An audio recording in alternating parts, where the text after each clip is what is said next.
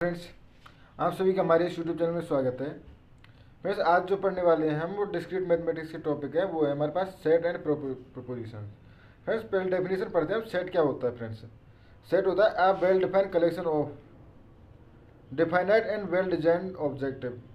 यानी एक कलेक्शन होगा जो कि ऐसे टर्म्स का होगा, जो कि वेल डिफाइन होगा जो एक कलेक्शन जो होगा, वो वेल डिफाइंड कलेक्शन होगा, वो किसी